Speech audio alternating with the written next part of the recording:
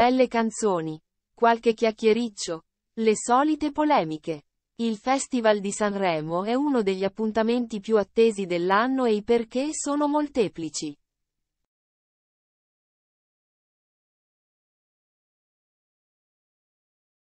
Certo, non sempre è stato un successo. Alcune edizioni sono finite dritte dritte nel dimenticatoio per una qualità imbarazzante, per l'assenza di glamour, VIP e così via.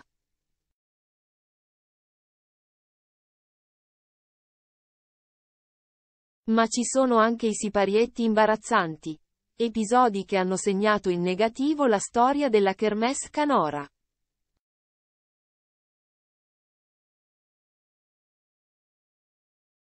In questa categoria possiamo sicuramente annoverare le cadute dalle scale, sempre più frequenti e sempre più indimenticabili.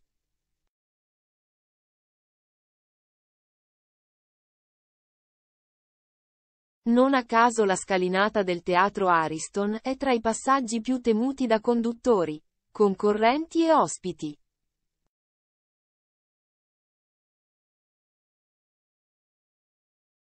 Per questo e molto altro è arrivato il momento di andare a ricordare i momenti poco edificanti o quantomeno incresciosi della storia del Festival di Sanremo.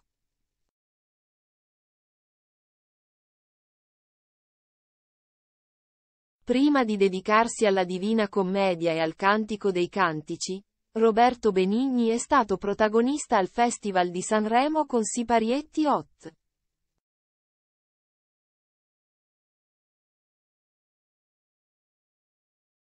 Dagli assalti a Pippo Baudo al bacio a Olimpia Carlisi, fino alla sbirciatina sotto il vestito di Manuela Arcuri nel 2002.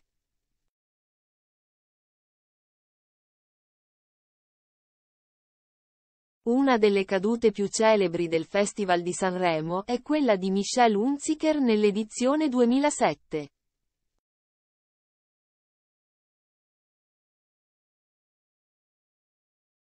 Nel corso della serata finale, la conduttrice svizzera viene tradita dal proprio abito, ritrovandosi sdraiata a terra di punto in bianco.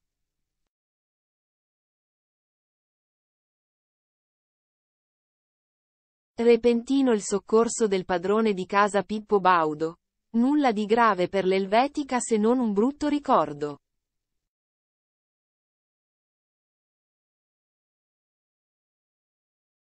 La presenza di un super ospite non sempre coincide con un siparietto stellare. Nel 2011 il big atteso all'Ariston è Robert De Niro, leggenda del cinema.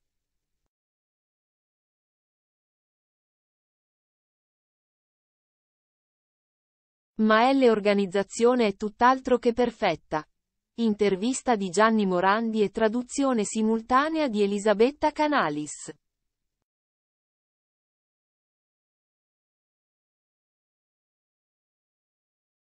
Risultato? Domande a dir poco agghiaccianti e dialogo elefantiaco. Festival di Sanremo 2012? Belen Rodriguez insieme alla già citata Elisabetta Canalis al fianco di Gianni Morandi.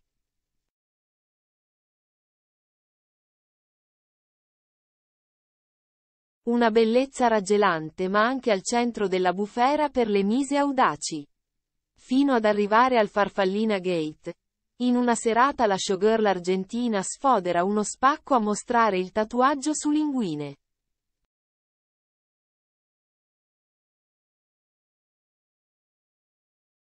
Social impazziti. Rete in subbuglio. Immagini virali e polemica servita sul piatto d'argento.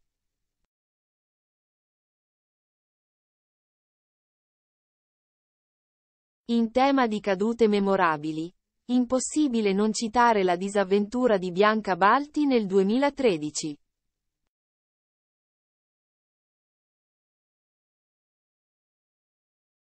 Tradita dai tacchi, la modella scivola e si accascia, per poi ritrovare quasi subito l'equilibrio.